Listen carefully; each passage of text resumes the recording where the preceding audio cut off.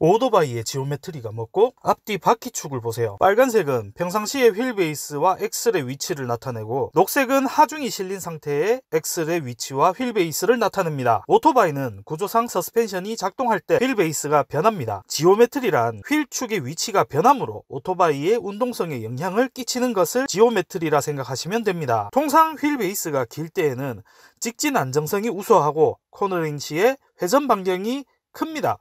쇼코너에서 타면은 중심값 잡히죠. wheel base가 짧을 때는 직진 안정성이 불안정합니다. 그래서 핸들 털릴락 하고 막 불안해요. 근데 코너링, 코너에 들어가면은 콤파스로 찍은 것처럼 돌아갑니다. 뭐, 도랑타기 쌉 가능? 감속으로 인해서 앞으로 쏠릴 때 이때 앞쇼바가 많이 압축이 됩니다. 그리고 앞쇼바의 각도가 직각에 가까워지는데 이때 핸들이 굉장히 민감해지지만 그만큼 코너 돌기가 수월해집니다. 청룡 쇼바도 마찬가지겠죠. 그래서 코너 진입 전에 앞브레이크를 잡고 앞쪽을 압축시킨 상태를 유지하면서 코너를 돌아가는 스킬을 많이들 사용합니다. 이상입니다. 유익했으면 구독, 좋아요 눌러주세요.